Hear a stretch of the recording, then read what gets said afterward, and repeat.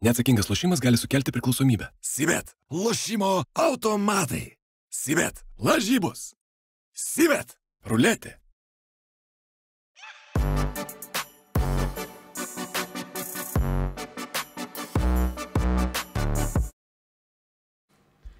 Sveiki, bičiuliai, Pikenrolas jūsų eterija. Turime studijoje trijų vaikų tėvą Joną Mačiulį ir e, Valentino, Valentinės nebeieškančio. Nebeieškančio, užtikrintai Beną nebeieškančio. Maškevičius. Visus sveikinam su Valentino diena. Šiaip kažką numatė vakarui? Švenčia tokias dienas? Su žmona nueina į kokį restoraną, koncertą? Nu, ne. Ne? Nenumatė nieko. Žmona išvykus, aš čia. Mes tai atvirkščiai, aš gavau dovanų šiandien. Aš vakar, vakarė koncertą, bet e, man padovanojo bent jau kažką. Tai Pirmą labai nustebau. Pirmą Bilietą? kartą Benui. Ne, ne, bilietą. ba, ja, ba, pirmą kartą Benui, tai žinai. Koncertas džiazų. Koncertas arenoj? Taip, taip. Kiek renkasi tokius koncertus šiais laikais žmonių? Nežinau. Nu, bus, tu čia vis tiek pilna jau. Dabar, kai tu pasų nereikia visų. Bet keista, kad e, turėjau draugą, kuris dabar e, e, boksavusi, ar- armenas, armenas vokietis Latvijoje. Ir buvo tik tais 200 žiūrovų galima įleisti ir tik tais ten buvo labai maža. Latvijai. Jo. Latvijoje, o Lietuvoje. Mhm. Tai mes mažiau sergam. Tu ma- Sveikesni. Manot, kad tas nuimtas galimybių pasas ir žalgeriai pagelbės kažkiek su lankomumu Eurolygui, bet čia tikriausiai mes šnekame apie papildomus kelius šimtus žmonių. Ja, nebent tuos. manau, kad žalgiriui pagelbės, manau, tavo paskutinė pergalė labiau negu, negu galimybių paso nuėmimas. Visai neblogas mačas dar su Milanu buvo, šiaip visai pozityvi savaitė, prieisim prie tos žalgerio praeisę savaitės. Šiaip e, laida skirta praktiškai taurėms, nes ši savaitė yra Europoje taurių savaitė ir turime žmogų, kuris gal net daugiausiai iš Lietuvos krepšininkų istorijoje yra laimėjęs taurių, net reiktų pagalvoti, kas galėtų pretenduoti į aštuonias taurės. Jonas Mačiulis turi dvi su žalgeriu. tu Jankūnas jaučiu. Ten Jankūnas tai turi ten. Bet aš turiu meninę čempionatus, tik taurės. Taurių Tai. Jankūnas irgi kiek taurių laimėjo. Tai jie dabar paskutinės irgi kiek kartų jau ten tas penkis iš eilės. Ne, rytas galaimėjo. KMT Ai. iš šešių, rytas 2, 4 žalgeris. Nu, bet jau gali būti, kad Jankis Jankūnas, turės. Jankūnas, manau. Bet jis neturi trijų Ispanijos taurių, laimėti yra sunkiau, neturi trijų Graikijos taurių, kurias irgi laimėti nėra lengva. Ir, ta, ir dar 2007-2008 metų su Žalgeriu Lietuvos taurės irgi buvo sunkiau iškovojamas, mano tikrai. akimis, negu dabar, nes tuo metu rytas buvo labai panašaus kalibro. Tai jau buvo gal net ir vienu metu kaip ir toksai jau komanda geresnė, nes tik geriau, geriau žaidė, sakykime, to, ne, ir, ir tuose tarptautiniuose turnyruose ir tokie buvo tikrai buvo. Dvikovos tuo metu būdavo labai inirtingos. Čia kalbam būtent apie tuos laikus, ne? 27, Jo. 8, tu išvykai 29. Taip, Kai- 29. Jau ne, tas jau nebebuvo, kai rytas laimėjo viską.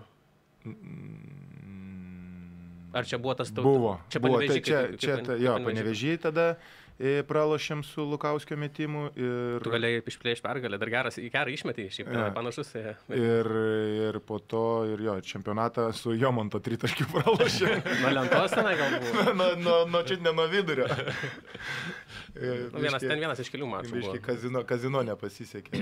Sakiau, sakiau, galvoju, žiūriu, Eiconas, Eiconas žaidžia prieš Jankūną, galvoju, eisiu pa- padėsiu, galvoju, ką čia Jomontas nuo to tritaškio terkšti yra. Užsitaisė nuo pėties.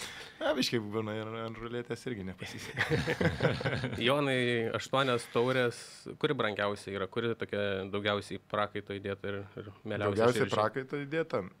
Tai daugiausia prakaito, tai man atrodo, buvo pirma įdėta Graikijoje prieš Panati, o, prie Panatinaikos Olimpijakos taurė, kai buvom porą dienų prieš pralošę labai stipriai čempionato varžybas.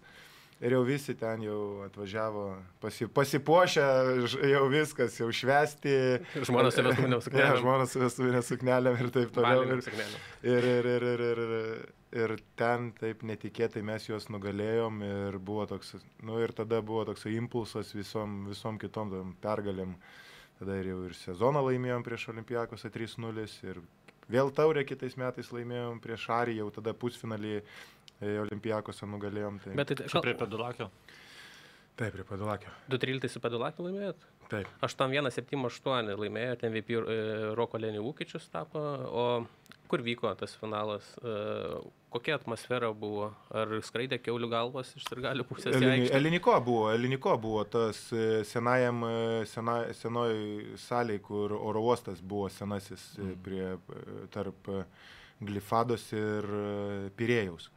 Daug talpina. Ne, tenais buvo tūkstantis mūsų fanų, tūkstantis jų fanų ir keturi tūkstančiai policininkų. Už krepšį, už krepšį, jo, jo. Ir vidurį laisvą. Ja, ja, tai ten buvo, ten va tas va garsusi, gar, garsusis finalas buvo, kai ten e, yra daug kur nuotraukos, kur pirmose eilėse stovi olimpiakos fanas su ramentais ir, ir gipsuota koja ir po to su tais rame, gipsas skrenda ir su tais ramentais policininką muša. Nes apsi buvo pasirūpinęs tais dalykais šiaip buvo. Tai- O, o Heinzas buvo tais laikais? Ja, tai ten Heinzas, čia va buvo- to, čia kur Heinzą pašovė, ne? pašovė į galvą. Pašovė, lengvai gal. Pašovė į galvą iš signalinės raketos. Ne, ne tada Bramosai šortai degė. Ne, tada Bramosui. Koks pokalbis. Ne, tada Bramosui, tada Bramosui metė obolį į ranką ir su tai su Britvom prapjovė ranką labai stipriai, giliai. Esi buvęs kada Graikijos derbyje? Derbė esu buvęs Oro lygos rungtynėse, ne, ne Tai ten neįdomu. Su Sakimšam? su Sekimšom ir, ir e, kaip tik e, kaip Panatinaikose žaidžia, nes ten tada jau ten dega visas, visas ta jų pusė ten dega, nes ten visi saliutai paleisti iš visų pusių, užsikūrė šiaip olimp, e, abiejose yra gera atmosfera, tik tais olimpiakos yra toliau tie žiūrovai, tada taip nesijaučia. Panaikose, jeigu ten pilna ir dar paleidžia, tai daro tas duris ant tų e, Laiptų. laiptų sėdi, stovi, tai ten yra kažkas neįtikėtina. O- Ir dar Kazlauskas turi irgi porą istorijų, kaip jis tai dar buvo treneris olimpiakose, kai buvo dirbai, tai e, specialiai žuvis, žuvis ten mėnesiais laikydavo e, laukia, kad būtų kuo daugiau ten smirdančios supelijos ir paskui atsineša į rungtynės ir tada ant metą, ant kostiumų metą. Ja, nes, nu, po- Olimpiakoso pra, pravardės yra Gavr, Gavros pravardė yra, tai kaip mūsų būtų šprotai, tai, Na, nu, va, jam, va, va. tai jam pametėdavo ten viską. O buvo kažkada, kai žaidė, tai, o Panatinaikoso, tai zuik, zuikiai, tai morkų kažkada buvo primetę. Išradingi kokie. Ir ta Išradingi, istorija su, su kastyliais, kur persirengęs fanas pasiruošęs, bet šiaip labai protingai, kaip tu daugiau persineši kažkokį galintį žmogų sužaloti daiktą, kaip va, apsime, apsimetęs, kad aukoja lūžus. Bet ir, ir, ir spjaudė, nu ten būdavo, pas- mes kaip su Caskais buvom uh, Panatnaikos rungtynėse, tai aš prisimenu irgi ten, Batutinas kažkur tai sėdėjo ten ir, nu, jauti, ar kartais nepataiko, bet spjaudo, ar ten kažkaip, nu, yra, yra iššūkių O- gerokai O ten. kaip su to tinklu, taigi tinklas yra, bet... Tai E, tinklas tik tais ap- apsaugo nuo labai sunkių dalykų. Jo. obolys su britvutėm. Tenais, ne, tenais nebūdavo. Tenais jie tikėjosi, nes, nes atitvėrė, ten buvo, nu, sakau, buvo dvigubai daugiau policijos negu fanų ir negelbėjo vis tiek. Tai. Aš matau, Jonai, kad visos trys iškovotos taurės su realu buvo sunkiai iškovotos. Visi trys finalai mažai skirtumais bent jau Jo, jo. e, švieslentį 7-7-7-1 pirmą kartą Barcelona, po to 8-5-8-1 Gran Canaria ir po to 9-5-9-7 įvykėt Valenciją ant dviejų taškų. Visi ten vidutiniškai 3-4 taškai tik tai. E, Su realu per 3 metai iš eilės 3 iškovotos taurės, kuri simpatiškiausia tau iš tų. Tai... Kaip Barsa nuėmė. Mm, dabar aš galvoju, kad e, kur buvo Veron. E, Vero, ką sakau, Veronui, e, Lakorunijoje, kur vyko. Tai čia, man atrodo, bus. Dabar Gal- bijau pameluoti. Antra, antra ir trečia taurė. Tikrai ne pirma, bus. Antra prieš, Antra. prieš Gran Canaria. Ja, antra tada. Antra Ajonas taurė. MVP, Gustavo. Tau. Jo.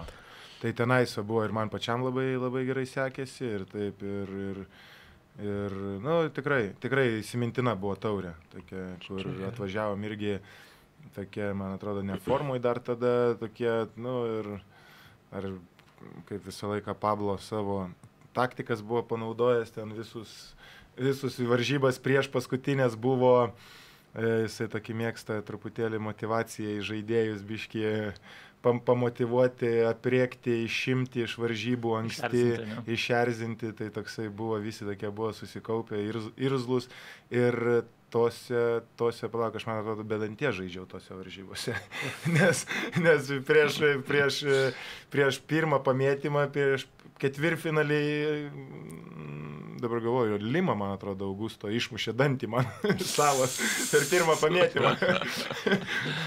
tai be danties žaidžiau. Okay. O tau benai su Casku yra tekę turėsi sužaisti? Galingai, galingai teko pralošti, nes buvo uh, ketvirtfinalis dar tuo metu, uh, bet, bet, ne Rusijos taurė, bet, nes BTB neturėjo, bet turėjo, turėjom Rusijos taurę tuo pačiu metu, čia buvo primesinos. Uh, prieš sezoną vykdavo, ne? Ant, antri, antri metai čia buvo, mes žaidėm prieš um, kras, Krasnį Oktyabrą, ten Oktyabrą. Volgogradą. Krasnojarsko. Ne. Ne? Volgogradas. Ai, Volgogradas. Krasnojarskas tai Jen- Jenisėjas. Ai. E, Volgograd ir, ir mes žaidėm ir namie laimėjom, nes ten buvo, e, namie ir išvyko, ten ketvirtadienį atsakomasios. Namie žaidėm pirmas, laimėjom kažkaip tai gal 8 taškais, 70, bet visi ten buvo Krističius, Tedosičius, visi buvom, Bu- Vimsas buvo. Tada važiavom Volgogradą ten po mėnesio gal. Ir, ir tada e, prasidėjo įsivažiuoti ir buvo tas, irgi tas prezidentas Volgogrado, tas... E, Garsusis, kur kantų pirko po to? jo, jo. E, Ir kūrimą pasamdė, ne? Ir, ir jisai apsirengė ir žaidė tos rungtynėse irgi. Jisai buvo išėjęs. Ir pralaimėt, nu, jinai- Abejos, man atrodo, jis negi buvo abejos ir mes pralaimėjom. Mes, ir mes, ir mes pralaimėjom su didesniu skirtumu, negu mes laimėjom. Kiek jis įmetė taškų? Išvyko, neįmetė.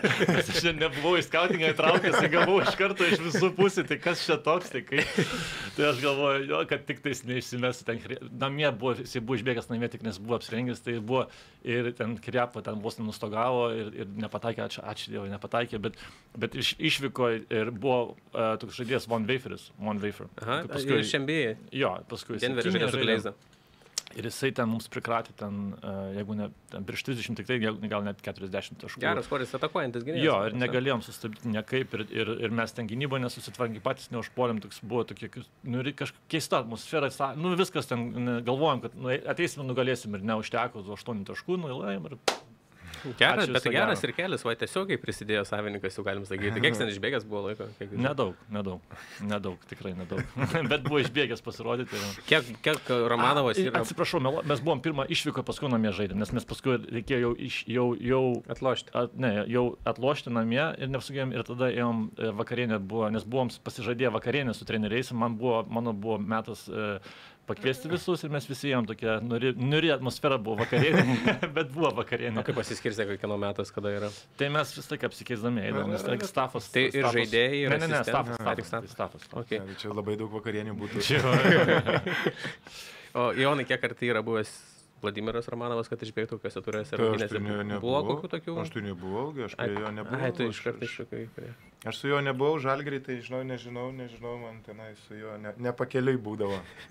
Į treniruotės, tai ten matydavau, kiek tenais tie video visokie būdavo. Kaip ten. man tas su su dviračiu vežioja? salę bet tai čia po buvo po finalo, jo, Po- po, po, taurės finalo buvo, bet būdavo tenais, kai jisai treniruotės išeidavo ir pasi... Jis Brazilijai žaidė veteranų rinkimų? Jo, jo, jo, tenais per laužų šokinėjo paplūdimį. Tas Krasnekte buvo Krasmenko. Jo. Krasmenko. Tai, Kur tu pasamdai, aš atsimenu, ką. Gali būti, jo, kantu, jo. Ir Sigitas Kavaliauskas kaip ten buvo. ir, ir Karniauskas nebuvo, atrodo. Aha, buvo Kariniauskas. Tai nežinau, ar tą pačiu metu sukurčiau. Gal ir to pačiu. Galbūt. Nu, žodžiu. Okay. O šiaip taurių specifika, pasiruošimas taurėms, formos derinimas vyksta kažkoks specialus taurės? Šiaip tai toksai, ką žinau, gal daugiau kaip individualiai, visi vis tiek tose, tose bent jau kiek, vat, e, e, Is- Ispanijoje, sakykime, tai truputėlį jaučiasi, bet, nu, kaip aš, kaip aš buvau Ispanijoje, dar nebuvo tų labai daug dvigubų savaičių, dabar jau praktiškai labai sunku, labai sunku tą padaryti, tą derinimą visą ir taip toliau. Nes, nu, yra labai daug visokių svarbių varžybų, kad ruoštumėsi ten mėnesį prieš kažkam ir, ir kai anksčiau ten būdavo, gal galėdavai per tą mėnesį, nu, tris varžybas turi, pasižiūri, ten žaidži su kažkokiais outsideriais, nu gerai, tas laimėsi, čia dėl tų gali surizikuoti, bet dabar, kai per mėnesį žaidži vos ne aštuonias varžybas, plus vietiniam fronte, plus viską, tai labai sunku tą, labai sunku suderinti tą pasiruošimą, fizinį, sakykime, pasiruošimą. Mu, kai aš dar žaidžiau, tai būdavo truputėlį daugiau, tai ir treneriai, ir treneriai akcentuodavo, ir fizinio rengimo treneris akcentuodavo. Panatinaikose, sakykime, treneriai gal netiek akcentuodavo visą komandos fizinį pasiruošimą, bet labiau žaidėjai būdavo samoningesni. Pasiprašydavom, kad, nu gerai, vat, reikia jau Jau yra ir tas toksai, va, kaip... Kad, Madri- reik, kad reikia paspausti. Jo, ar- ar reikia truputėlį atleisti, save, save, save reikia paspausti, truputėlį, žinai, kad ir likus dviem, trim savaitėm prieš reikia paspausti save truputėlį, tiek pabėgioti, tiek, tiek fizinis pasiruošimas, ten ta, sakykime, štanginė vadinama ir taip toliau, ir visokie ten tie pratimai ir po to truputėlį metimų daugiau užsimeti, taip toliau, tas dvi savaitės prieš dešimt dienų padirbėjai, po to tas, kaip sakyt, Mhm. nueina, nueina krūvis, ateina kompensacija ant tų varžybų ištaikai vis tiek daugiau. Aš atsimenu, kai, kai Tomo pačias savo vadovaujamas rytas pasigavo pirmą kartą žalgį ir pirmas buvo Šaro sezonas pilnas Kaune, tada jie iškrito iš Eurocapo dar gruodžio pradžioje, gal net lapkričio pabaigoje ir jie turėjo dar tris mėnesius iš esmės ir vieną tą tikslą, kur pa- pasigauti žalgį ir tada Kabaliauskai išleido ketvirtoje pozicijoje, Gudaitis gal buvo penktų, Lapeta ir sugroja. Jie viskai, du mėnesius gali ruoštis konkrečiai vienam Taip. kelių dienų turnyrui tikriausiai daug. daug Na tai aišku, sunku, sunku vis tiek ištaikyti, nes daugiau, daug visokių ten tų dalykų psichologinių būna ir taip toliau. Sunku tą, tą ištaikyti tom būtent tom dviem dienom. Čia lengviau, kai čempionatai, va, Europos pasaulio čempionatai vyksta, tai jau lengviau tą ištaikyti truputėlį tom dviem savaitėm, ten ta paklaida tokia yra didesnė. Bet čia jau dviem dienom tai sunku, bet vis tiek yra tie, yra treneriai, yra tą maždaug, maždaug išskaičiuoja vis tiek. Iš taktinės pusės, ko gero, daug lengviau pasiruošti tokia atveju, tai kai tiek faktas, turi. faktas, Nes tarkim faktas. dabar vyksta LKL, bus, KMT bus, bus Ispanijos taurė, iš jūs nekate ir finalio, vieną dieną, vienas rungtynės išėlės, galim sakyti, tris dienas po, po grajų.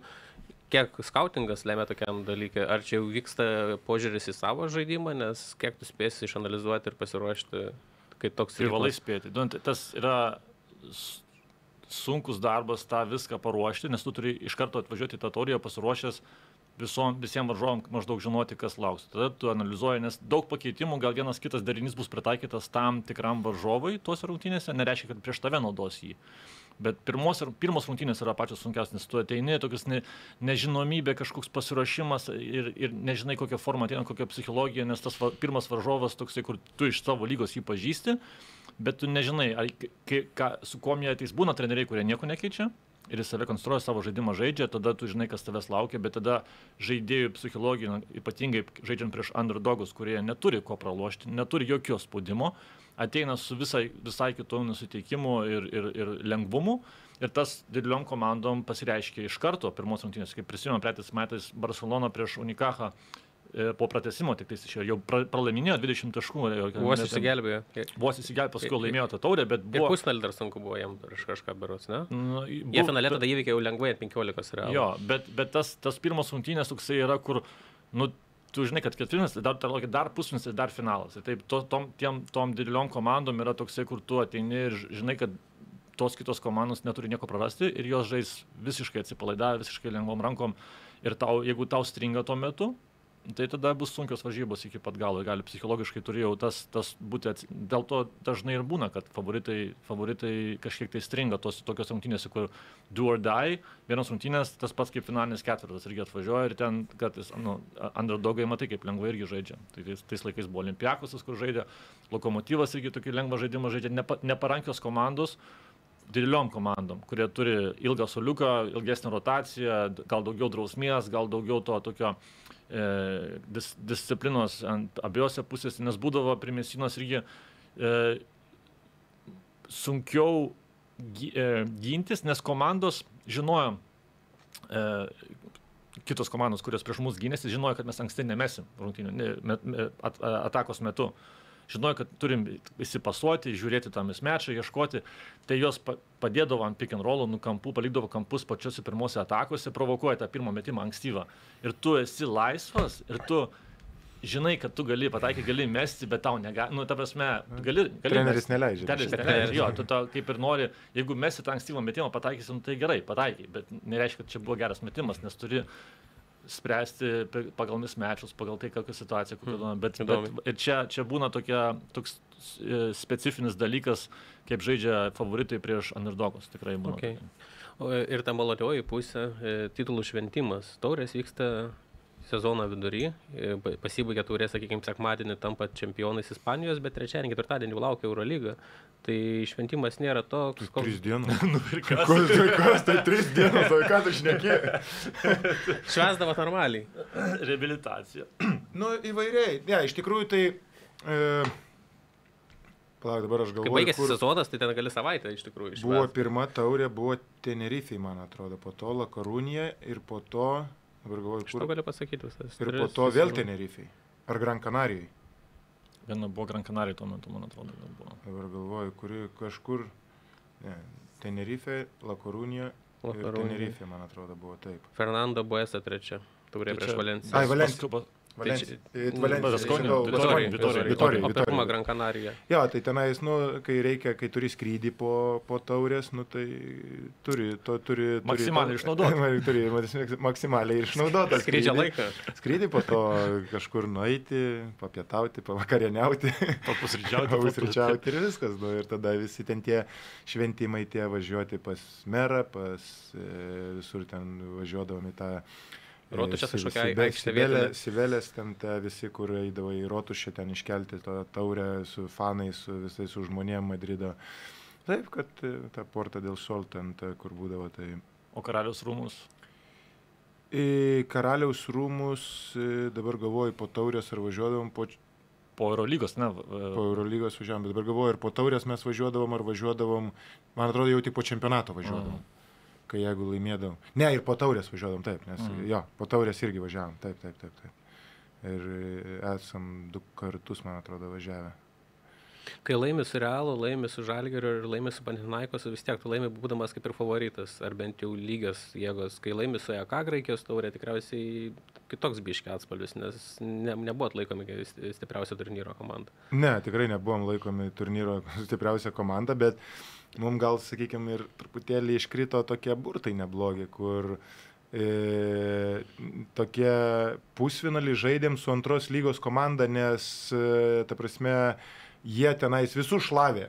Visu, visą, visą pirmą lygą visus nušlavė ir išėjom į pusfinalį su antros lygos komanda, o Pagal- Patras pasigavo Panatinaikosą iš vienų varžybų ir viskas. Okay. Tai finalės prometėjas. Jo, fi- fi- finale su Prometėjas žaidėm e, Kretui. Ne, Rodo, Rodo solo. Mhm. Tai taip ir, taip ir gavosi. Jau tada jau tenais buvom ly, lygių varžovų dvikova ir viskas. Ir, ir, tikrai, ir tikrai pakankamai ten gal rezultatas taip neatsi- neatsispindi, nes pra, laimėjom tai ten, nežinau, keliais taškais, man atrodo, bet visas varžybas ten apie 10-15 vedėm jau. Olimpiakose nebuvo tada. Ta... Ne, Olimpiakosas. Dabar tik sugrįžo jie. Jo, buvo iškritę jau, jau po tų garsiųjų, jau buvo panaikinti jie iš pirmos lygos.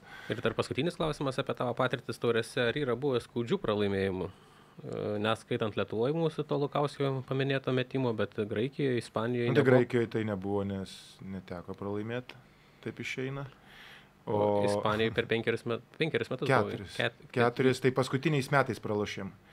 E, pra, paskutiniais metais pralošėm ir tai ten toks vat irgi buvo, tai man atrodo Gran Canarijai pralošėm.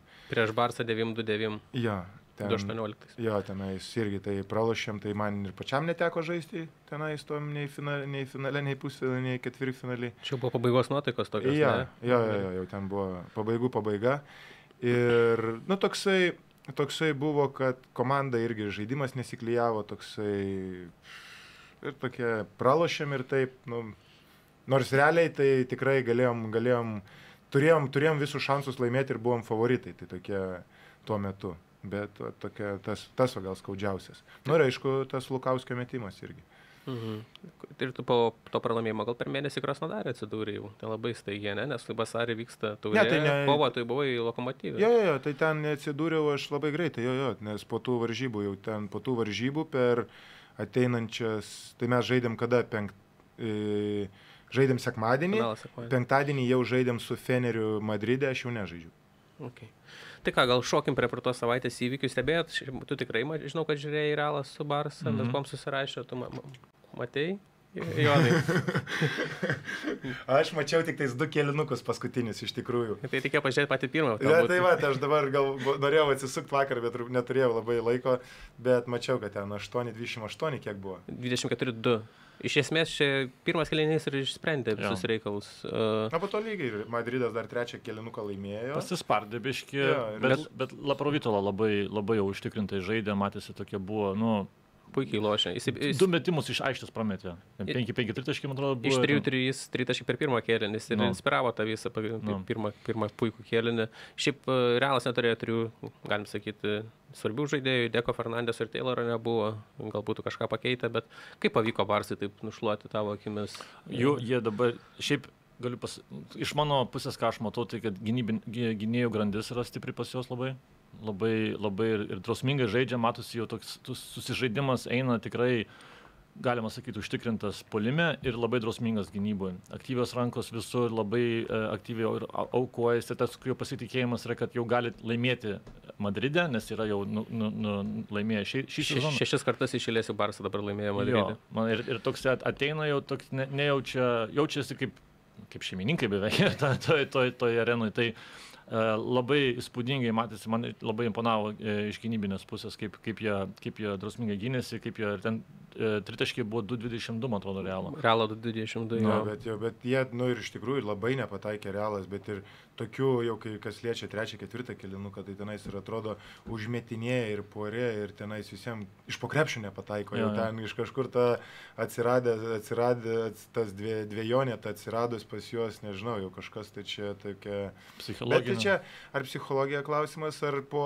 čia tie, kaip sakyti, koronos li- likučiai, kur ir dus, du, e, matosi tai, kad ne- nelabai jau jie ten taip ir bėga, nelabai jau ir tokia, nu, tokia pridusus komanda visiškai mm. buvo. Tai dabar va, tas va, pasiruošimo etapas, kurie čia dabar turėjo, na, turėjo truputėlį, dabar, va, turi, tiksliau dabar turės jau čia tokio gal tokią savaitėlę biški. Tai manau, gal duos realui naudos ir jie pasitreniruos truputėlį formą įgaus. Tai va, žiūrėsim, kaip jie čia iš tikrųjų atrodys. Barsa neturėjo Higginso, ne? Tikrai, o dar kažko nebuvo, ar jis vienintelis? Higginsas, man atrodo, vienintelis. Vienintelis kuris, gal. Ir jis ten gali net operaciją turėti, ten neaišku dar. Neaišku, neaišku, ten jie- nugarą. E, jis ten, pa, jie ten pats spręs, nes yra vienos variantas, kitoks variantas, kaip, kaip, kaip nuspręs, taip, taip darys, nes tai gali konservatyviai, gali, gali ir operaciją daryti, tai ten nežinau. Konservatyvus būdas tas tikriausiai, kaip Marius. Grigonis darė, tiesiog laukia ir išlaukė. Gali būti, bet Nes sakė, kaip panašios problemos, ten kaip ir išvaža.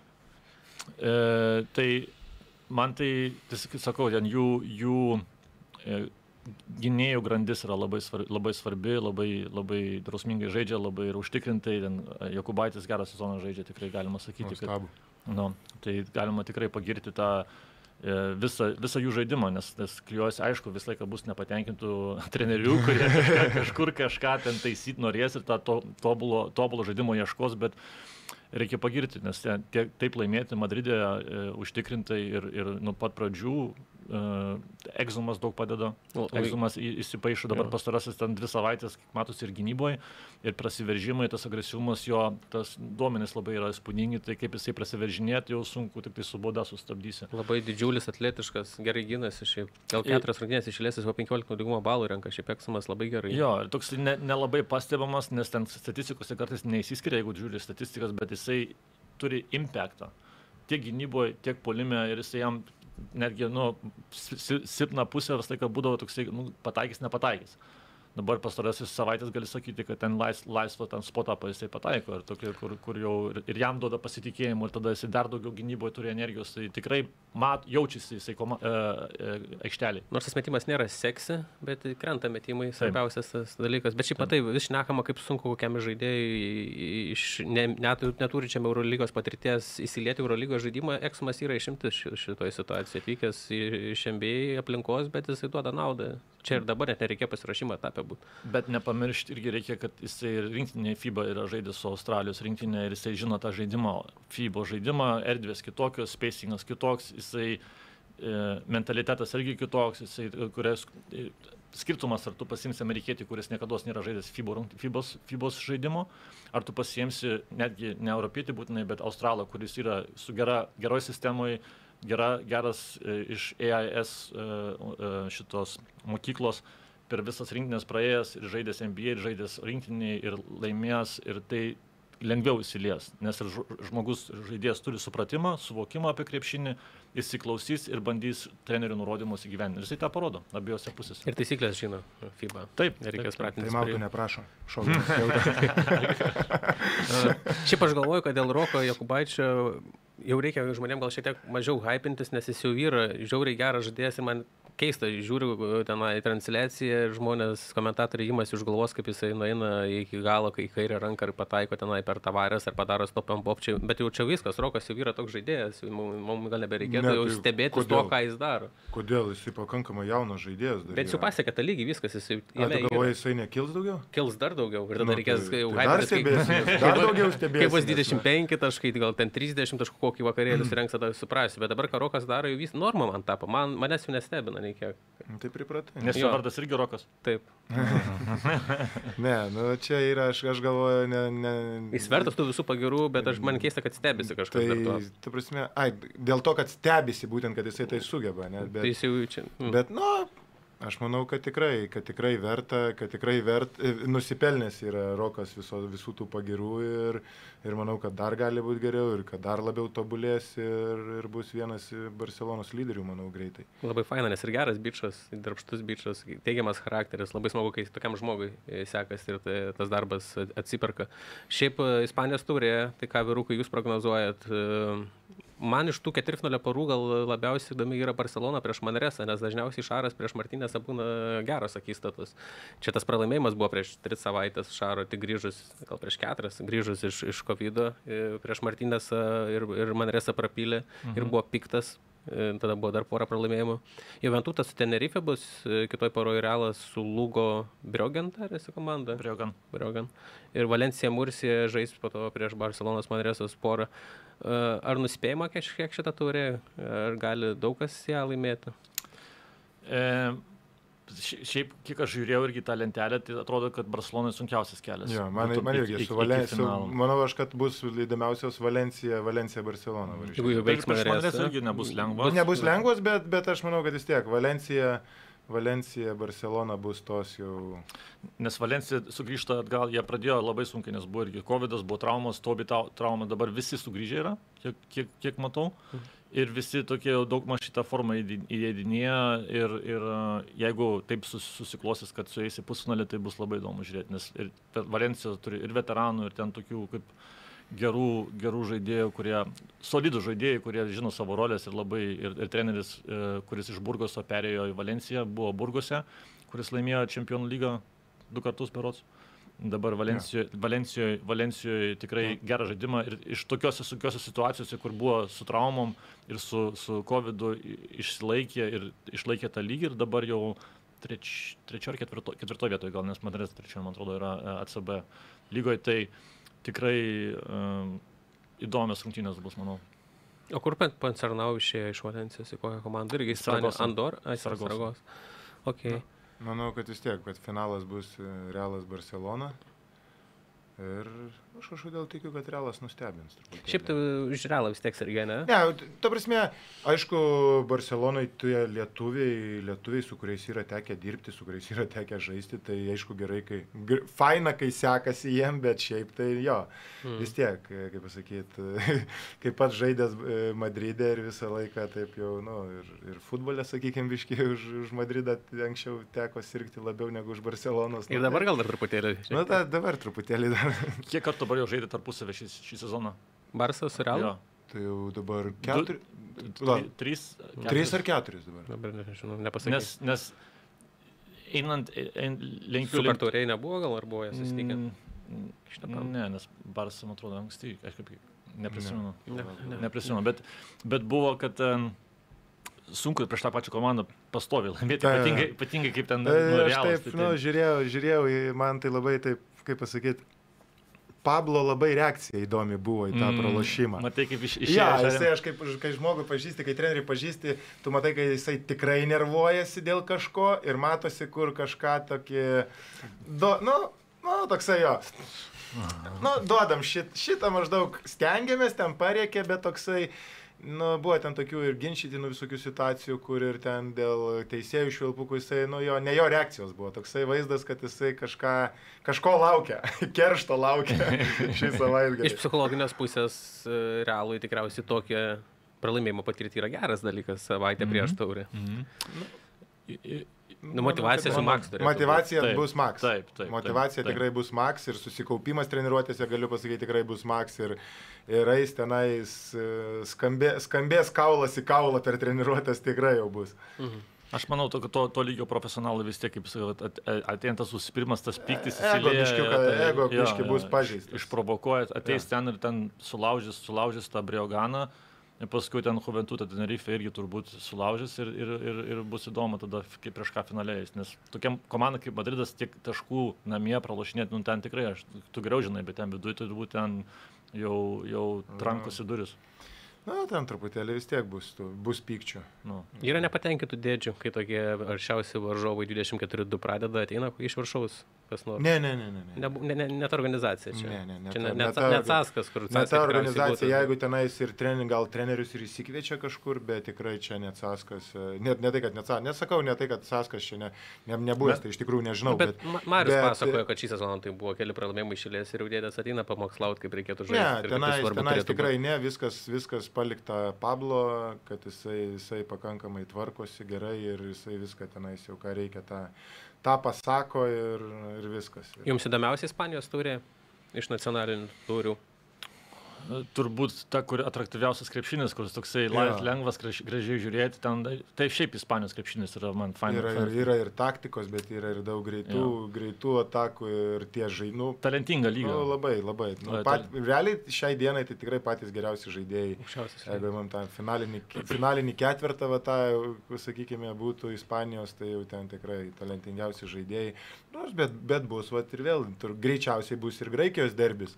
Nu, Bus, įdomu, bus įdomu. Visą laiką įdomu, kaip yra vietiniai žaidėjai, tuo, tuo, tuo šalies yra geri aukšto lygio žaidėjai. Tada yra toksai, kur tikrai matai jau tą Nes jie kaunasi tada. gaunasi ir talen- talentas yra, ir ta intelektas yra, ir matai, kad Graikijoje ypatingai yra ten ta, tos taktikos daug yra, Jo. ten, jis, žiau, ir, ir kietas krepšinis yra. Jo. Serbijoje tas pats, Serbijoje įsilavinimas, mes patys žinom, visi suprantam, kad jie yra irgi krepšinio šalis.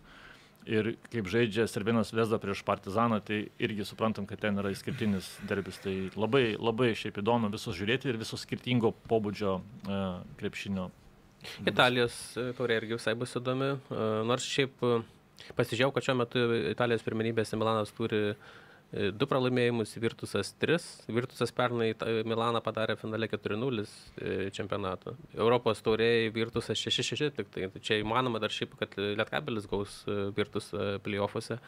Milanas labai gerai Eurolygoje trečioji vietoje. Ir ma- matau, kad pirmame etape ketvirtfinalyje Milanas pradeda prieš Sasarį, prieš Bendžių, Virtusas pradeda prieš Brindysį. Šiaip man nieko nesako kai kurių komandų tenai pajėgumas. Tarkim, Triestas prieš Tortoną, Trentas prieš Brešį. Aš neįsivaizduoju, kas yra favoritai, nesidomi tiek stipriai Italijos krepšinių, bet Virtusas prieš Milaną, ar gali būti netikėtumų, gali Virtusas pasikauti Olimpiją finale.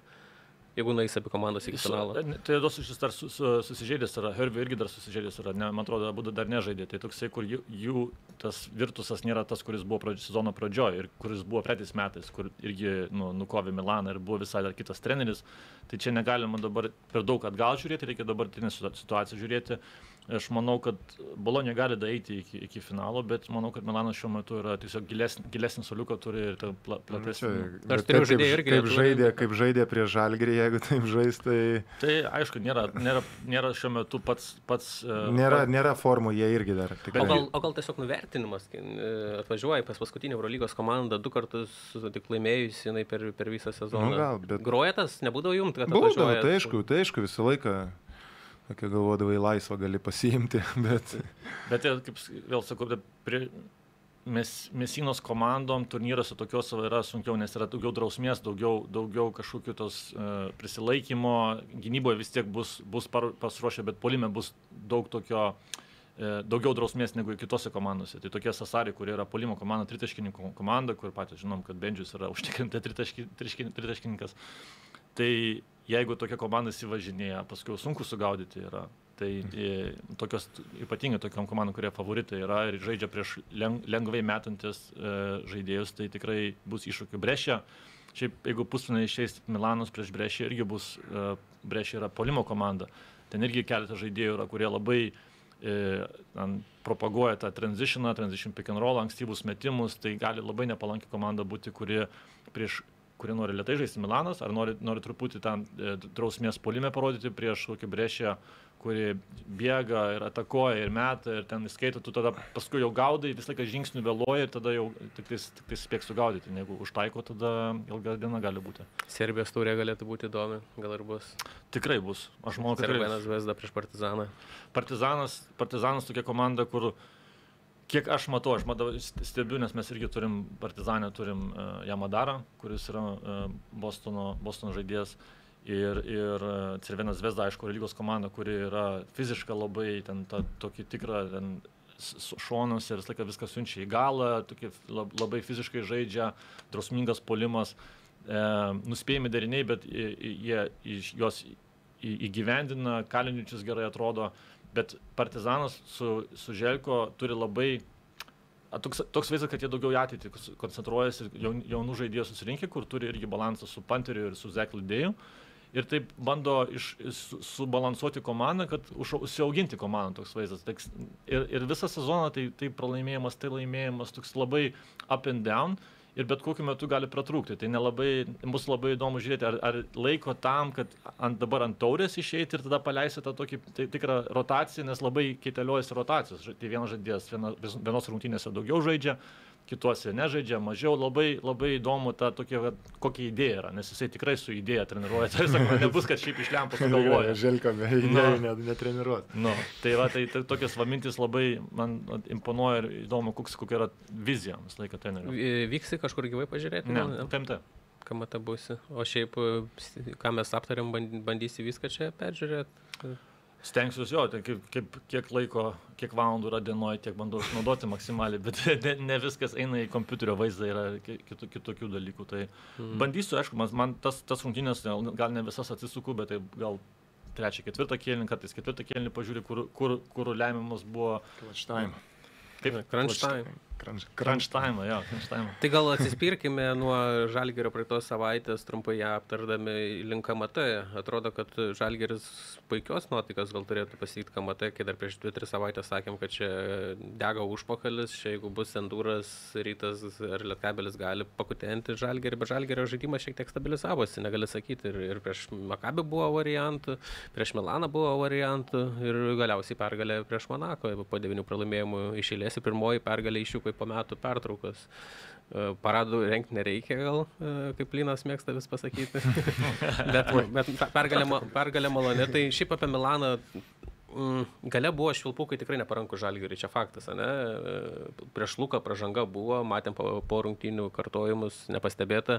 Prieš Nybų, ko gero, buvo nesportinė pražanga, jeigu būtų Zdosas padaręs tą challenge teisėjų sprendimui ir būtų, būtų pakeistas, manau, kad. Gali, na, aš nesu, gali būti taip. Gali Negali būti. kaltinti teisėjų, kodėl teisėjai bet... pralaimėjo, bet e, būtų pakeitę rungtynių baigti vis tiek. Įtakuoja, tokie dalykai, aišku, įtakuoja, jeigu ten apverčia tau duoda tada du, du metimus ir, ir, ir kamolį, tai, tai aišku, ten yra papildomos poziešinas taškai, gali pakeisti tą visą ritmą komandos, bet, bet čia krepšinis. Čia ne, yra tokia dalis. Nebuvo Šilso, nebuvo Metaglųjų, seniai nėra, nebuvo ir Datomės. Šiaip jums, ar Milanas paliko slogų įspūdį, ar matėt Žalgirio žaidime? Man tai Milanas daugiau slogų, slogų įspūdį paliko Milanas negu Žalgiris gerą. Tose varžybose. Jie, jie po COVID antras įgis su Žalgiriu taip sunkiai kažkaip. Jo, kažkaip tai, jo. žaidė. Jo, bet, bet uh, Žalgiriui vėl ir tuose rungtynėse, ir, ir prieš Monaką, kur po lenta sunku buvo kovoti. Ten offensive reboundų, aš čia irgi užsirašiau, 14 Milanas e, turėjo ir antrose su Monako turėjo Monakas 11. Ir pas prieš Monaką, kur buvo tiesiogiai tipinai kur tiesiogiai pakartojamas 8 taškai ir Dimo, ir, ir, ir, ir Tomasas, ir ten vienas po kito, o, o Milanė tai irgi tas pasainsas, ten, man atrodo, 5 surinko po krepšių. Daug, daug buvo tokių, kur, nu, kaip dabar, kur Lavernas sugrįžo, gal kažkiek tai stabilumo irgi turėtų suteikti po krepšį, man taip toks, toks įspūdį, įspūdį tokį turėtų. Ir, padaryti. ir daug tų antrųjų šansų tritaškiais dar baigėsi. Jo. Daug, Milanas gal ten kiek įmetė žalgerių, 12, 13, 14, labai daug. Prie, prie e, 12. Jo. 7-12, jo, 7 žalgeris, 12 Milanas. Okay. Ir Monakas pergalė, šiaip Žalgeris po ilgosios pertraukos parodė geresnį veidą, praleidė 36 taškus, iki ilgosios pertraukos netaip gerai sekėsi. Jums ne, nekeista, kad Donatas Matejūnas per pirmąsias 6 minutės surinkęs 10 taškų, antroje pusėje žaidė, ne, nežinau, 2-3 minutės. Mm. Tai sprendimas treneriui yra mažinti penketą, mobilesnį padaryti, labiau gynybinį, bet... Pasirip... bet ar ne, nekeista? ne, ne, ne, ne, ten ne gynybinio, tai aš neižvelgiau. Jie keitėsi vos ne viską ir ėjo viską iš priekio. Ir dar ne, negana to, kad jie bandė eiti iš iš priekio, ta helpsidas antiek buvo, antiek buvo giliai po krepšiu, kad Lavernas tai iš viso, kur Ulanovas ir tritaškai prametė, yeah. gauna kamulį. Ir iš karto meta ir klausautas mušė, kaip tik tais norėjo. Ten jų ta Monako, ta gynyba, tai aš ten iš vis nesupratau. Ką jie, tenai, ką jie ten žaidė, aš nesupratau.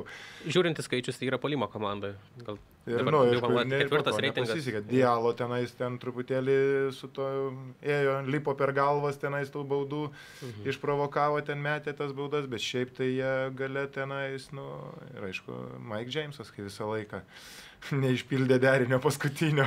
Na, tas derinys turbūt tam ir buvo skirtas ten kažkiek tai. Na, bet ne, ne, ne metimui, kiek supratau, buvo prasiveržimui arba baudos provokavimui buvo gal skirtas. Vis tiek žinojo visi, kad keisis viskas aišku, ja. bet tai Tai, tai gal geriau reikėjo prieš Šulanovą daryti vienas ant vieno metimą, negu išsikeisti ant nybų ir per aukštą, aukštą ir atletišką centrą bandyti mes stebėti. Jam, jam nesvarbu prieš ką. Jam Jam nesvarbu prieš ką, bet nu, sprendimai jau kelintas varžybas ir prieš Madrido realą baigė tuo, e, bando užbaigti varžybas tokiais jau metimais, ale herojiškais. Jau, jau. herojiškais, ja. nu kur, nu, nu. Bet, bet Jonas Mačiulis turėtų karubinį pasakyti, ne? Po tokių metimų. Šiaip tavo favoritas sužaidė gerai. Nilsas Gefajus. 15 taškų viską pataikė. Ne, žiūrė, aš, aš iš karto e, prieš, varžybą, prieš varžybas tą dieną buvo, kadangi mano gimtadienis buvo. Ačiū, dovana ja, tau. Jo, jo, jo, tai aš, aš pas Jankūną užsiprašiau, sakau, žiūrėkit, man laimėkit gimtadienio progą, dar negana to, kad laimėjo, dar ir mano favoritas geriausiai sužaidė. Čia, tai čia buvo davų višnaitė. Višnaitė ant torto buvo. Mat, šiaip, šiaip galima pagirti, kad, kad, kad Žalgeris tikrai, man teko komentuoti ir man visai kitom akim žiūri, kaip komentuoja. Tai, Nepasižiūrėjau, gaila, žiūrėjau per VVS. Atsisuk, atsisuk, atsisuk. Girdėjau, kad buvo vokiškų terminų. Jo, buvo vokiška, nes vokietis gerai sužaidė, vokietis, pusiau vokietis komentuoja, tai vokiškas ansamblas buvo. tai, tai mes e, šiaip kaip žiūri, kaip komentuoja visai kitom akim, tai žiūri tas statistikas, sėki tiesiogiai ir tada įsižiūri tą žaidimą labai e, kitaip. Ir labai akivaizdu buvo, kaip tie antri šansai buvo tokie pakartojimai, taip skaudus buvo, nes Žageris laikėsi, gynyb, gynybiš, gynyb, gynyboje gerai stovėjo, net kovojo, ar ten tipinas 2 plus 1. Ir Tonoveriai buvo ties vidurio linijos, kur tiesiog... Melaknis iš tikrųjų labai, labai visų, visur vėluodavo atsitver, atsitverti, nes Jankūnas atrodo jau ima kamolį, Melaknio žmogus pa, pamuša, Tomasas pa, pa, pakartoja ten. Kažkur su kažkas kitas sujuda, Melaknis vėl žiūri Jūrime, tai tokie buvo, buvo tokių, tokių momentų, kur labai, labai, labai. Aš tai galvoju, kad Lukas prasižengė prieš Vil Tomasą pabaigoje. Buvo pražanga. Manau, kad pražanga tenai. Buvo. Aš nemačiau to pakartojimo, tuo buvo. metu atrodė, nes, nes tiesiog Tomaso reakcija, Tomaso, Tomaso taip kaip, kaip Ir, ir kaip Lukas ėjo, ir kaip Tomasas metė, atrodė, galėjo būti bauda, bet ne, aš tai galvoju, net ir man atrodo, jeigu būtų tenais pražanga iš nugaros, Lukas kabinosi už pečio. Man tai pasirodė. Man irgi taip atrodo. Ten būtų buvęs nesportinė. Bet pakartojimo net nebuvo jo. Ne, net nebuvo nei pakartojimo, ten iš jūsų baudos nebuvo tenais. Tai, tai ta prasme, nesušilta bauda buvo iš viso. Tai jo, ten, ir šiaip... Nu, gražino skolą matyti.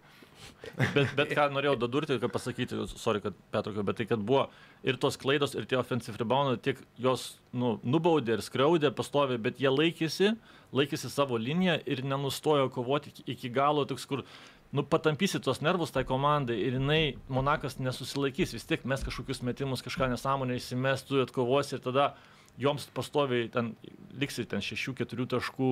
E, ar, nu, Kiek 13 buvo antro kėlinio vidury. Nu, ir, ir taip, ir paskui ten vieną tritaškį Milas užkūrė, ne, no, taip pataikė. Jo, Milas 2-3 taškai. Per 3 minutės 3 taškai. Po antroji pusė. Favoritas įmetė 2 su bauda, 2 trajeką, nu ir viskas. Nu, favoritas užsikūręs tikrai buvo. Užsikūręs mano gimtadienio proga.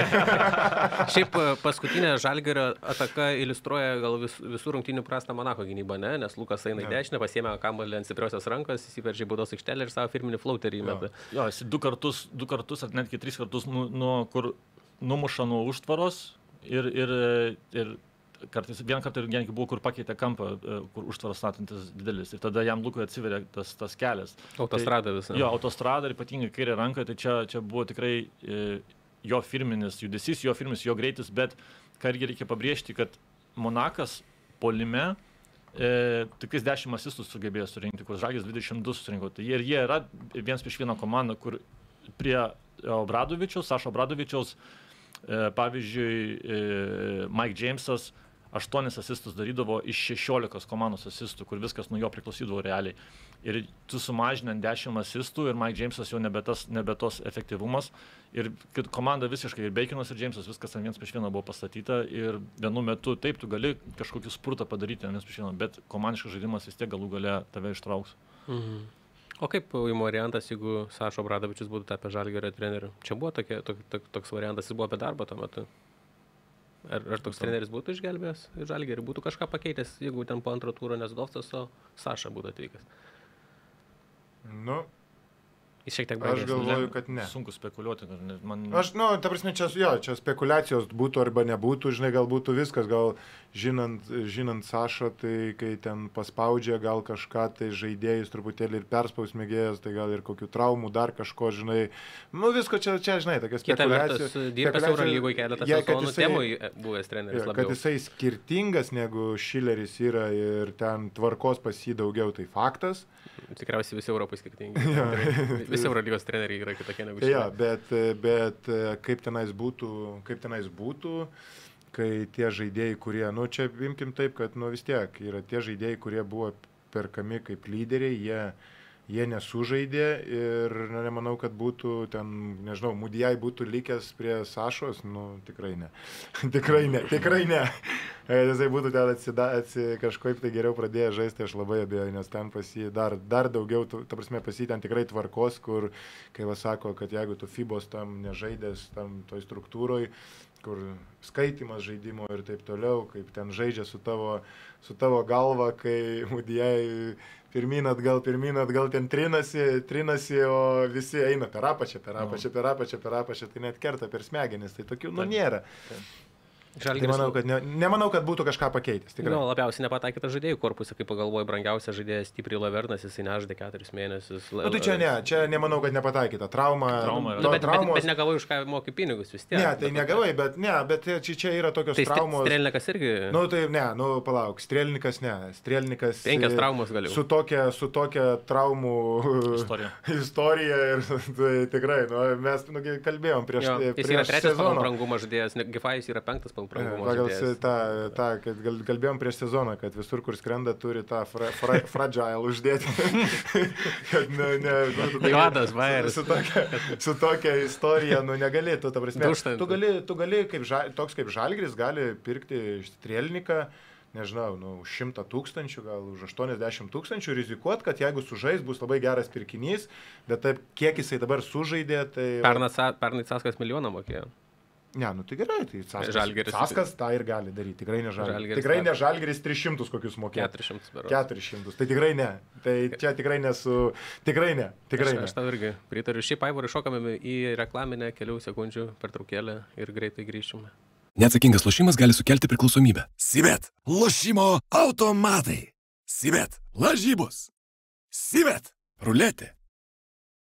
Ori tiek ir moka. Sveiki sugrįžę. Tai, taigi Žalgeris jūsų akimis yra akivaizdus KMT favoritas. Nu, aš tai bejau, mano tik tais viena, viena baimė yra, kad vis tiek žaidėjai truputėlį dabar jau nu, gavę didelį krūvį. Buvo kai kurie tokie, pavyzdžiui, kaip Lukas. Lukas labai daug žaidžia. Jo. Nežinia, kokia situacija su Mantu, ar nereiks ten kokių operacijų ar dar kažko, ar jisai žais. Man atrodo, e, kad jisai nežais. Jisai buvo išbėgęs prieš Milaną, prieš ką, prieš ką Man, man atrodo, Ne prieš kad... Bet Prie... Ne, uh, LKL rungtynėse. Ai. LKL jis žaidė. taip, Man atrodo, man atrodo, kad man tas nežais e, ten tų varžybų. Tai išvis. šaus gal blokadą ir žais. Nu, daug dievė, bet, bet aš galvoju, kad jisai nežais. Pusnelį. E, ne, ne, jisai iš vis nežais. Bet irgi, jeigu, jeigu jisai žaistų, tu nori sveiko manto. Jo, nenori jo, nori sveiko man to, Nu. jo, bet va, Lukui ir po to kiek e, tas, kaip jisai, Websteris. Websteris, e, Websteris kiek, nes kai pamatėm matėsi Monakė, sakykime, prie spaudimo, jeigu ten kokį, nežinau, e, finale Margerį pa, pastatys prie Websterio, tai jisai, nu, kaip ir jau Monakė ten prie tų nepersivarė per vidurio liniją, ten prarado kelis kamuolius svarbius, tai toksai, nu, nėra, nu, jo, čia ne jo pozicija, aplamai, Taip, yra. taip, čia, antras yra. Jo, čia jisai, jo, čia ne jo pozicija, negalėjo ant jo tenais irgi pykt, bet tai o ką daryti Zdovsui, kai neturi žaidėjų, tai, Taip, vat, taip. tai ir bus per, Būtent. ta, per, tas, per tas e, dvi dienas, nu, nu, sunku bus, tikrai Žalgiriui bus sunku, aišku, visi laukia Žalgirio ir laiko jį favoritų ir, ir laukiam Žalgirio tos pergalės, E, bet, e, bet nu, manau, kad bus sunku tikrai. Mm. Aš manau, kad sunku bus, bet e, šiuo metu dabar irgi, kaip kalbėjom, psichologija daug ką, daug ką lemia, daug ką reiškia, kad tu ateini ir su pasitikėjimu ir dabar Oro lygoje laimėjęs, sakai, tokia gera, su optimizmu, kur Žalgiriui labai reikėjo, su optimizmu ateini šitą savaitę prieš, prieš taurę, treniruotis visai kitokios, visai kitoks nusiteikimas, tu ateisi ir jiems, jiems tas gali išeiti į naudą. Ten kitos komandos taip, jos bus susivedusios, tie, tie, tie, e, kitas pusfinalis bus irgi labai įdomus. tai bet- Ja, šiau, E, šne- šiauliau į Žalgiris palauko, ne, Taip. ir Liet- rytas. e, Lietkabelis. Lietkabelis. Nu, tai manau, taip, prieš Šiaulius nebus, nebus taip, kad šiaip, nu, ką, nes Šiauliai yra tokia neprognozuojama komanda, kur laisvą žaidimą propaguoja ir, ir ten gali bet kas iššauti. Ypatingai Elboras, kur paskui irgi žiūrėsim, labai toksai, kur, kur ten gali sukurti ir savo, ir kitiems. E, bet prieš nedrausmingą komandą reikia drausmingai žaisti. Ir tada ta, jos, jiems, jos priversi kentėti ir tada Žageris galės nu, nulaužti. Bet e, pusfinalį ten trankysis, kitam pusfinalį, ten trankysis dvi komandos ir ten neaišku, kas, kas žais kitą dieną, nes ten bus mūšis tai labai įdomus. Lietkabelis šiandien žais Alitu ir jau yra visi žaidėjai pasirengę žaisti, kiek girdžiu šiauliuosi irgi, net turbūt tikriausiai žais irgi yra visiškai pasirengę. E, Rytas norėjo, beig buvo susitaręs su tokiu Suomiu praeitą savaitę, bet e, dylas sugriuvo paskutinę dieną ir nebe, neįsigijo jo ir nebeturės žaidėjo, jau baigėsi registracija KMT turnyrui. Aš spėju, kad bus kučas dviejų savaičių bėgi ryto žaidėjas, nes, nes pasaulio pieno žvaigždės jau laidoja praktiškai sezoną, jie ten per vieną pergalę tik tai nuo paskutinės vietos Tai tada esančių. Žalgiris LKL čempionai. Jeigu Bet, viską bet, reikia. bet, bet, rinko, bet rinko tuščia kita vertus, tai skučas, tai nuims minučių, jis neperkamas kaip vedlys, jis nuims nuo buvęs šiek tiek, nuims nuo, nuo Džerviso, Tanderio, žais po, po kokių 15-18 minučių, ką tau duos? gyn- duos gynybą. Skuč, skučas gynybą kai duoda, ar ne manai? Duoda. Ne, nesutinki. Ne.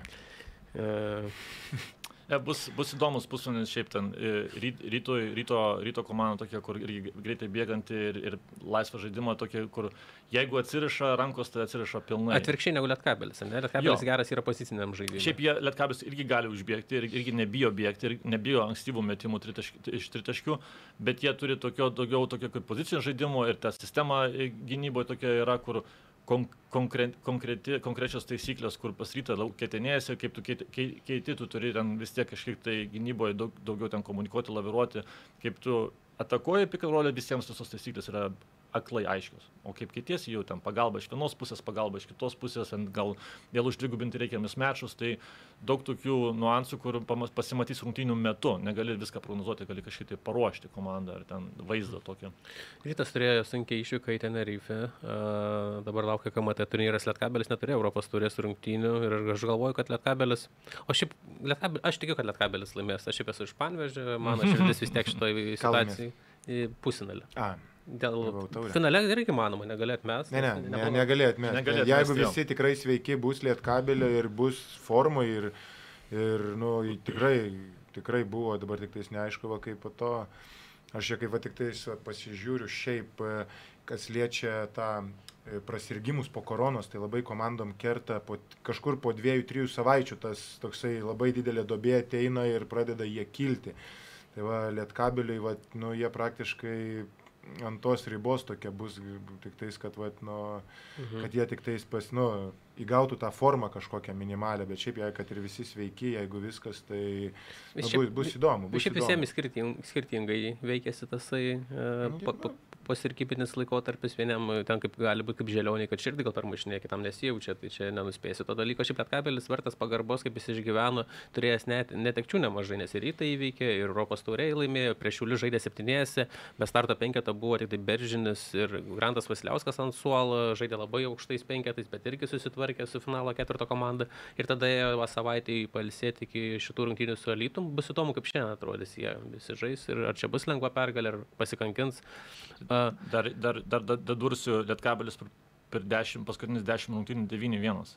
Pas, kas per pra- pralaimėjimas? Loko, kuri, kuri biudžetas yra, nu, ten, ne, ne, ne, ne, Nors, nelyginimas buvo netikėtas man tas pralaimėjimas, kad ant tiek subirėjo. Nes kad Loko, tiek subyrėjo, jo, nes jo, Loko bet- neturėjo trijų startą penketą žaidėjų, aš galvoju, gal kaip tik čia, bus variantų pasi... pasi... Jo, bet ir tu ir Rusijoje žaidėjai, ir ten, nu, ten tos faktus ten gali vėl svarstysi samokslo teorijos kažkokios, ten nežinai, kaip, kaip tuo metu Kaip viduj. keliavo, kaip kartais- keliavo, kas darėsi. Taip. Ar autobusai nebuvo per šilti, ne? Ir kartais, kartais e, komandai, kur trūksta žaidėjų, kaip ir matėm, e, kur Mobilizuojasi. mobilizuojasi, kaip ir Žalgeris prieš šitą, kaip irgi nebuvo žaidėjų, rotacija trumpesnė, visiems viskas aiškiau ir lengviau žaidžiasi, nes minučių daugiau, me- metimų daugiau ir taip turbūt irgi lokomotyvų taip gavosi. O Lietkabelis tai bendram fone, jeigu taip žiūri, ten 10 rungtynių atkarpą, tai užtikrinta tokia. E, pilna arena, jeigu bus e, sekmadienį. Mhm. Akivaizdu, kad nebus šeštadienį, bet sekmadienį, jeigu bus, tai pranašumas rytui ar vis dėlto papildomas e, pri- prislėgimas, Tik spaudimas. arena bus, tai turbūt vis tiek ža- žalgrio fanų daugiausiai. Bet, nu, paskutinį, šiaip paskutinį, paskutinį kartą nebuvo, tai Ne, aš paskutinį kartą. paskutinį kartą gal net labai, 7 procentų buvo. labai daug raudonos spalvos paskutinį Nustebino, aš kartą labai seniai nebuvau matęs, kad daugiau būtų. Ja, tai buvo iš tikrųjų. Bet šiaip tai, ne, nu, manau, kad bus gera atmosfera. Kad, Nu. e, Okay. kad tikrai ne, nebus kažkokio, kažkokių tenais. Nu, aš nežinau, kaip e, čia, vat, čia, čia dabar, žinai, koks reiktų klausimo, aš neįsigilinau, kaip bus su fanais. Ar, pavyzdžiui, jeigu žaidžia KMT, tai ar laikysis, ar bus, kad, pavyzdžiui, rytas tikrai yra šeimininkai ir jų B tribūna sėdės B tribūnoje, ar Ne, sėdės su kaip- žalgyriečiais Kažkur kitur. trečiam sėdės. aukšte. Tai va, tas, atrodo, kad scena ten bus jau taip pat. Nu, tai va, tai va čia va ir bus, žinai, tas va, tas va dalykas bus labai fanų tavo bazė, kur, nes čia, man atrodo, ne, nesiskaitys nei viena komanda kaip namų komanda, visi fanai sėdės trečiam aukšte, savo Neutrali. Jo, Neutram. nu, tai, tai va tas toksai, ta atmosfera gal ir bus tokia, žinai, tokia neutrali. Okay. Tai nežinia, kuriai komandai čia padės. Mhm. Mm, šiaip jo, tai ką, rytas dar po, po kamata iš karto turės labai svarbu, ai, dar bus rinktinės pertraukas savaitėlį ir tada iš karto Stras- Strasbūrė duo dai rungtynės jam, nes Mhm. pralaimėjo prieš Tenerife, ten būtina laimėti, norint patekti į kitą etapą. Gal trumpai pačios pabaigos paspėliokim, e, kas laimės kamata ir kas taps MVP. Ne, tai čia tai šiaip tai iš viso yra Ulanovo taurė. Ja, reiktų per, pervadinti. Jis turi šeš, šešis MVP.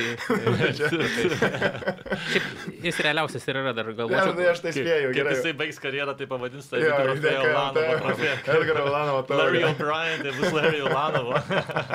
Šiaip, šiaip logiška, Lukas tikriausiai yra antras eiliai pagal tikimybės. Dar Kavanų, manau, kad turi savų kozerių, nes jis gerai vietiniam Aš frontui. už kažką- Gifait. Čia, čia, čia toks jau širdies balsas, ne?